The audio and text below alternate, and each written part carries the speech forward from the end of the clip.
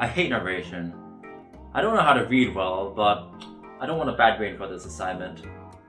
Ah, maybe I can use text-to-speech software instead. Surely that would sound better than me.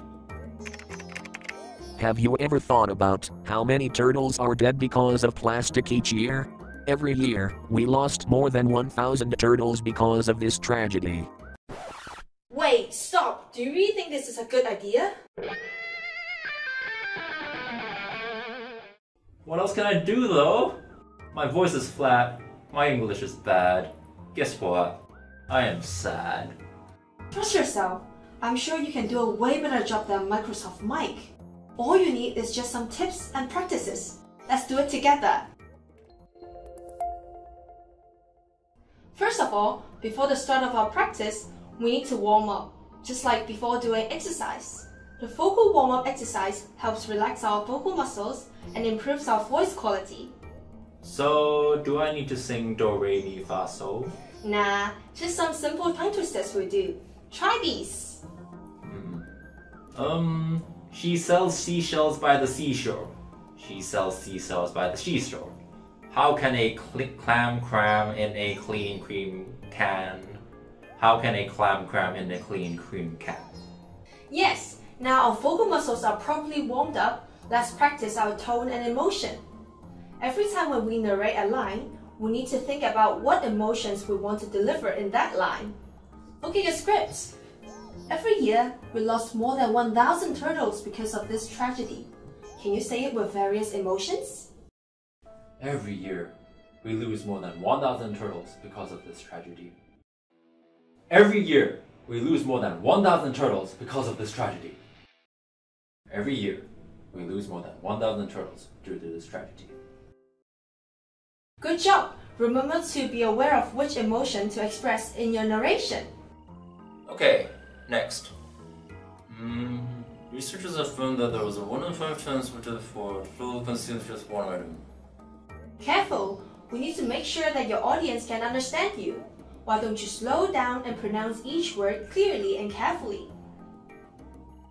Researchers have found that there was a 1 in 5 chance of death for a turtle who consumes just one item. Much better. Now, other than the pronunciation and articulation, we should also pay attention to our word stress and intonation. Try this sentence. I didn't say she stole the painting. Can you do it with different stresses? I didn't say she stole the painting. I didn't say she stole the painting. I didn't say she stole the painting. I didn't say she stole the painting. I didn't say she stole the painting. I didn't say she stole the painting. Oh, that's very interesting. Seems like the meaning changes when I stress on a different word. Okay, let me try that out. Researchers have found that there was a 1 in 5 chance of death for a turtle who consumes just one item. The word stress is that, but watch out for your intonation. You sound like you're unsure about the fact because of your rising tone. In a statement, we usually use a falling tone at the end. Oh, okay. Let me try that again.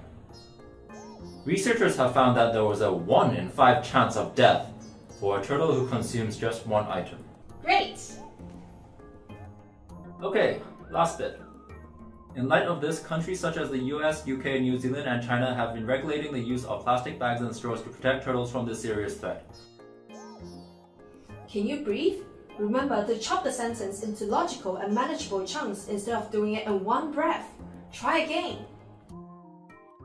In light of this, countries such as the US, UK, New Zealand, and China have been regulating the use of plastic bags and straws to protect turtles from this serious threat. That's it. That's our five tips for narration. How do you feel now? I feel a lot more confident. Let's go record it. How about you? Do you think you can do better than Microsoft Mike now?